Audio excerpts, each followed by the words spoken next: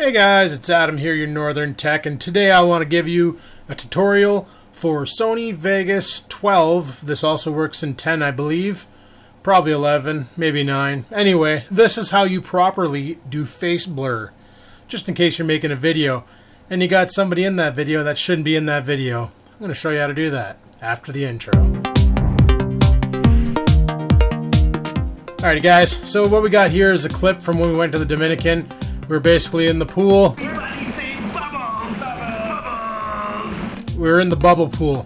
So this clip here, what we're gonna do is, there's my mom, there's my dad. We're gonna blur out mom's face. I'm gonna show you how to do that. First thing you need to do is right click on your video track and you need to insert another video track. You can also do that by going up here to insert and then choosing video track and it'll drop another one in. Then we need to right click on the video only the video portion, not the audio.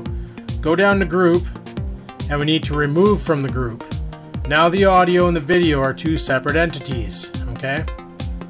Then what you need to do is copy the video, click on the top track so it's highlighted in blue, right click, and paste. Where the frig is it?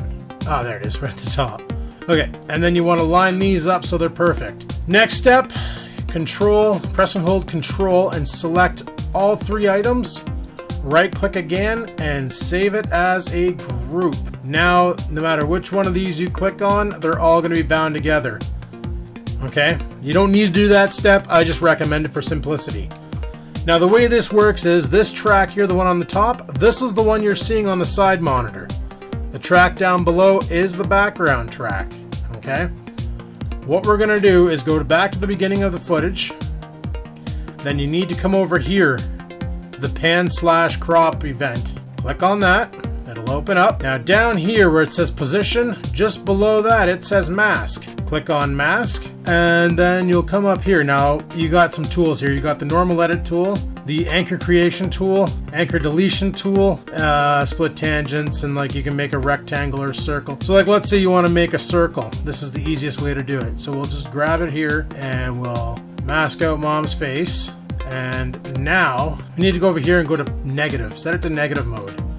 Now what that's going to do, if we go back out here, I'm going to mute the bottom video track and you're going to see now on mom's face, it's got a great big black circle. That's exactly what we wanted.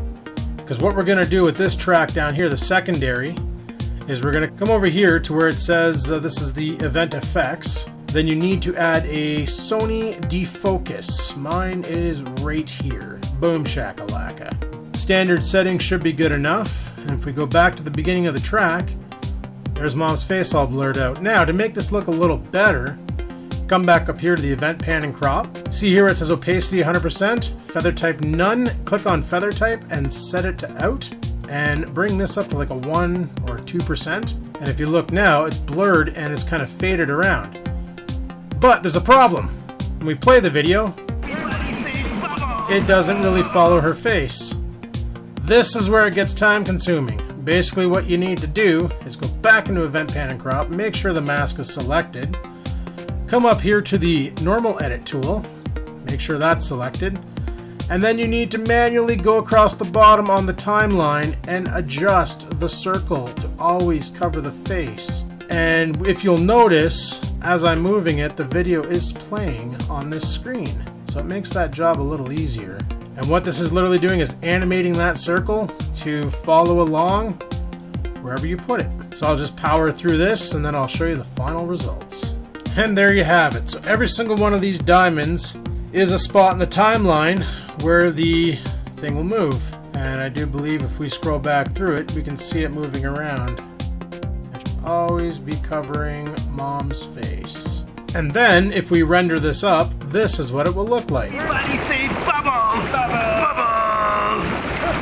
So there you have it, people. That's how you can easily blur a face out. Just in case you're out there videotaping and somebody comes along and says, "Hey, I don't want my face on my on this on YouTube or depicted in any way." Now you got an easy way to blur that face out. Thanks for watching. Hopefully this tutorial helped you out. Any questions, comments, or ideas for other effects you want to know how to do? Leave them in the comment section. I'll see what I can do for you. And until next time, guys, peace the frig out.